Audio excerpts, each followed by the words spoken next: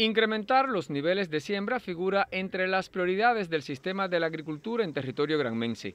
Con ese fin se ha establecido entregar aquellas tierras deficientemente explotadas en calidad de usufructo a quienes la puedan hacer producir. La implementación de esta estrategia en el municipio de Campechuela ha permitido sacarle fruto a las áreas agrícolas conocidas como el litoral, pertenecientes a la empresa agroindustrial de ese costero territorio. Me dieron 16 eh, hectáreas de tierra. Las he sembrado, hasta ahora han dado bien. Y en estos momentos, en lo que va de año, ya voy casi por 25 toneladas de, vianda y de hortalizas ya cumplí con 25 toneladas. Logro buenos resultados, ya se está mirando el, campo de yuca que tenemos aquí, ya casi ahorita en producción, y frijol caupí, con una producción aproximadamente de una tonelada por hectárea, eh, el maíz también con buenos rendimientos, el tomate con, con rendimiento de, de más de, de 15 toneladas por hectárea.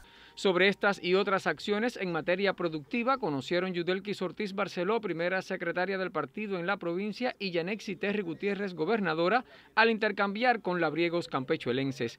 Ante las limitaciones de combustibles e insumos, estos campesinos emplean abonos orgánicos, bioproductos y la tracción animal para el alistamiento de los bloques agrarios, conscientes que el incremento sostenido de la producción de alimentos es la vía para abaratar precios y lograr estabilidad en mercados y placitas, los trabajadores de la Unidad Básica de Producción Cooperativa El Cuchillo del municipio de Media Luna diversifican sus producciones.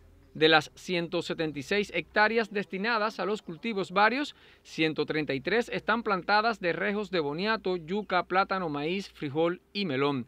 La vinculación de usufructuarios y trabajadores al área permite que esta entidad logre altos rendimientos. Hasta dicha base productiva llegaron las dirigentes granmenses con el propósito de chequear el cumplimiento del cronograma de alistamiento de tierras y siembra. Ortiz Barceló instó recuperar los atrasos en las labores de preparación y a un mayor control de las producciones de manera que éstas sean reflejo en la mesa del granmense. El periplo también incluyó el bloque productivo octavo congreso ubicado en el municipio de Niquero. Al evaluar las acciones desarrolladas, la dirigente partidista indicó definir planes de siembra que un mejor aprovechamiento de las áreas. Jorge Luis Ríos, Sistema Informativo de la Televisión en Granma.